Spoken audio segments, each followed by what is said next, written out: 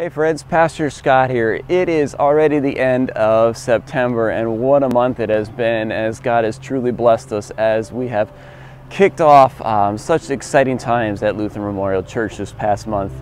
First off, we had our campus kickoff and what a success that was. So thank you so much for that.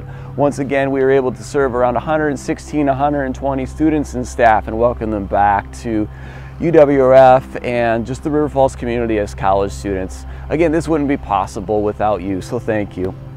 Also this month we were able to begin our campus Bible study, which we're really excited about and students are coming back for that.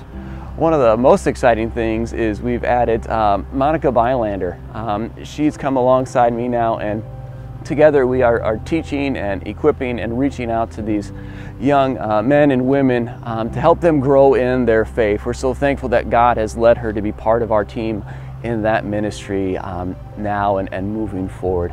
We also been able to kick off Sunday school again for all ages, and what a wonderful thing that is. So if you'd love to join us, we'd be thrilled to have you, and we'll get you put into that right class anywhere from pre-K, four-year-old on up to our adults.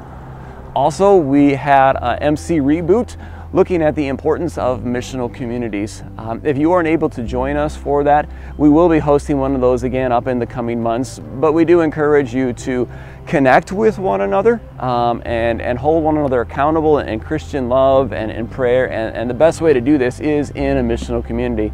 If you have more questions about that or interested in learning more, check out the website um, under missional communities where you can get involved in one or reach out to me and I would love to talk to you about that.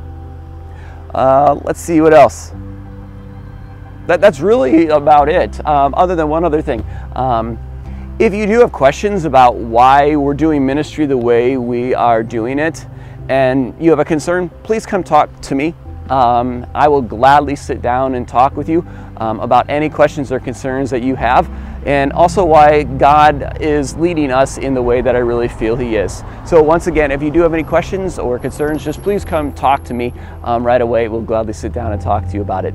That's it. So, friends, God richly bless you. Thank you for your continued support and your love as together we join Jesus where He is at, serving the C4, the campus, the community, the country, and the continents. God bless you, friends.